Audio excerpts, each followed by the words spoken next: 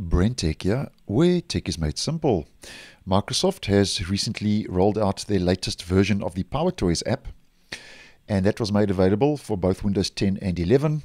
And after you have upgraded, this latest stable release will be bumped up to version 0.67.0. Now, over and above the numerous fixes, improvements, and other changes to uh, different utilities and PowerToys, um, I would consider the key highlight for this latest release, version 67, to be the new quick access system tray launcher that I did post on um, last year when it was still in development, and now with version 0.67.0 has rolled out um, as I would consider to be the key highlight and the key feature for this latest release. Now, just to demonstrate, um, if we head to the system tray, as mentioned, very similar to the Windows 11 quick access menu and system tray launcher. If we click on the PowerToys icon in the system tray, it now launches its own quick access system tray launcher where as I did mention last year when I did post that previous video, you just get access to the different shortcuts for different tools. And obviously that just makes it a lot easier and quicker to access your favorite um, utilities from the PowerToys app. Now, just to go through a couple of the features, um, if we click on more in the top right, here we can obviously turn on and toggle on and off the different uh, utilities depending on your own personal choice and preference. I've just toggled them all on just to demonstrate for the purpose of today's video.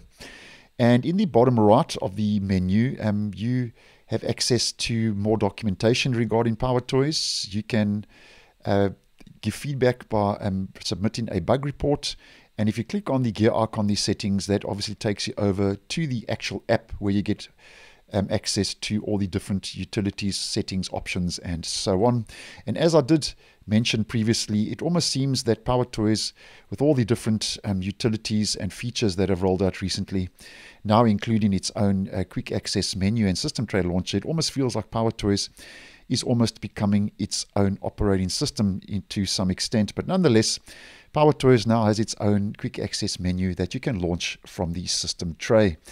Now, just to go through a couple of the um, other uh, key highlights and bug fixes, because as mentioned, um, over and above the quick access menu that's rolled out, there are some other key bug fixes just to go through. And regarding the Awake utility, um, they've disabled uh, uh, instead of hiding keep screen on options. So that's a bit of a um, a improvements or fix regarding the Awake uh, tool.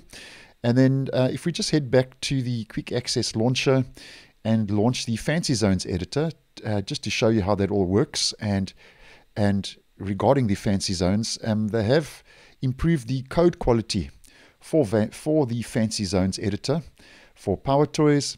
And when it comes to the image resizer, which is a tool uh, that lets you um, resize images by right-clicking on an image um, locally on your um, in your system drive or on your hard drive. They've improved the code quality around a silent crash that was causing the image resizer to crash. So those are a couple of the fixes. But over and above those numerous improvements and um, bug fixes that have rolled out, as mentioned, um, PowerToys now gets its own quick access system tray launcher now in version 67. So thanks for watching and I will see you in the next one.